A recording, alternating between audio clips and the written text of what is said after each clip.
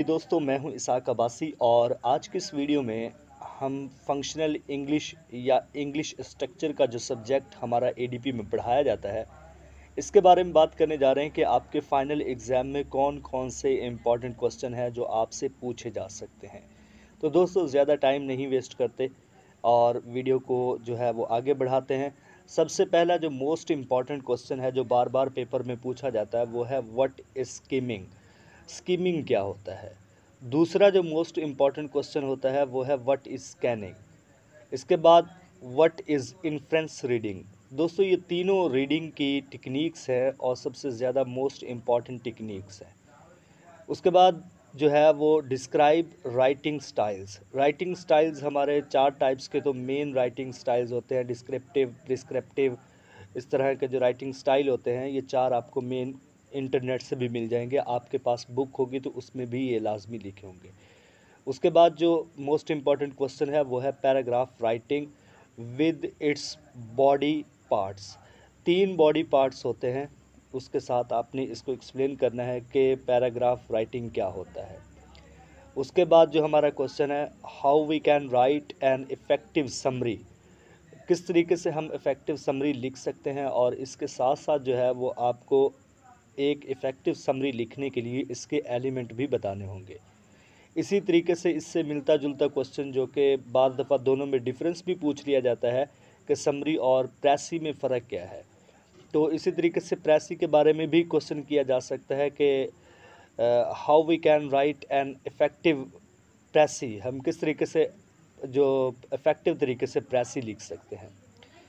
तो उसके बाद जो है वो हमारा अगला क्वेश्चन है difference between fact and opinion तो दोनों फैक्ट एंड ओपिनियन के बारे में आपसे सवाल किया जा सकता है, दोनों के डिफरेंस के बारे में पूछा जा सकता है। इसके बाद जो है वो डिफरेंस पूछा जा सकता है रेलिवेंट और इरेलीवेंट इन्फॉर्मेशन के बारे में और आपसे ये भी पूछा जा सकता है कि रेलिवेंट इन्फॉर्मेशन के बेनिफिट क्या हैं और इरेलीवेंट इन्फॉर्मेशन के डी मेरिट्स कौन कौन से हैं। तो इसके साथ साथ जो हमारा अगला क्वेश्चन है, वो है कोहेसिव डिवाइसेस कोहेसिव डिवाइसेस कौन कौन सी होती हैं? आपको पता है कि दो मेन कोहेसिव डिवाइसेस होती हैं. एक को ग्रामेटिकल कोहेसिव डिवाइस कहा जाता है और दूसरे को लेग्जिकल कोहेसिव डिवाइसेस कहा जाता है. तो कुछ इंपॉर्टेंट टर्म्स आ जाती हैं हमारे इसी कोहेसिव डिवाइसेस से रिलेटेड कैटाफॉरिक क्या होता है? और एनाफॉरिक क्या होता है सब्सटीट्यूशन क्या होता है अलिप्सिस के बारे में पूछा जा सकता है सिनोनियम के बारे में पूछा जा सकता है एंटोनियम के बारे में पूछा जा सकता है और कंजक्शंस के बारे में पूछा जा सकता है। अगला जो हमारा मोस्ट इंपॉर्टेंट क्वेश्चन है, वो है how we can get meaning of unfamiliar words by context clues तो ये हमारा जो है, ये हमारा रीडिंग टेक्निक्स और राइटिंग टेक्निक्स वाले पार्ट से ये वाला पोर्शन मोस्ट इंपॉर्टेंट क्वेश्चन मैंने बता दिए हैं। आपने इनको लाजमी याद करके जाना है। अगला हमारा पार्ट है पार्ट्स ऑफ़ स्पीच से। यहाँ से भी कुछ मोस्ट इंपॉर्टेंट क्वेश्चन बनते हैं। इनके बारे में मैं आप लोगों को बता देता हूँ। पहला क्वेश्चन बन सकता है noun and its types paper में आपसे नाउन और इसकी टाइप्स के बारे में पूछा जा सकता है। तो इसलिए आप इसको अच्छे से याद करके जाइएगा। दूसरा जो है वो प्रोनाउन और उसकी टाइप्स जो है प्रोनाउन और इसकी टाइप्स के बारे में पूछा जा सकता है। एडजेक्टिव क्या होता है, इसकी टाइप्स के बारे में पूछा जा सकता है। एडवर्ब क्या होता है, इसकी टाइप्स के बारे में पूछा जा सकता है। वर्ब और इसकी टाइप्स के बारे में पूछा जा सकता है। कंजक्शन क्या होता है और इसकी टाइप्स के बारे में पूछा जा सकता है।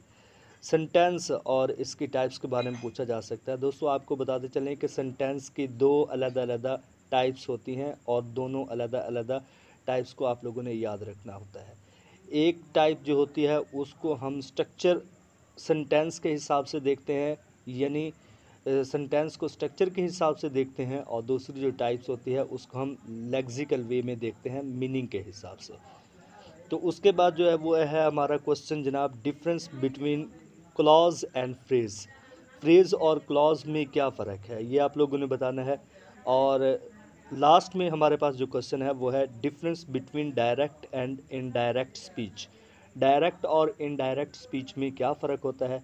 तो दोस्तों, ये थे आज की इस वीडियो में इंपॉर्टेंट क्वेश्चंस तो कोशिश कीजिएगा कि ये लाजमी आप लोगों ने एक दफ़ा इसको रीड आउट करके जाना है, ताकि ये आपके पेपर में आपके लिए हेल्पफुल साबित हों।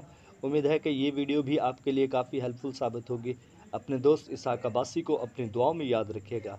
अल्लाह हाफिज़, अल्लाह निगेबान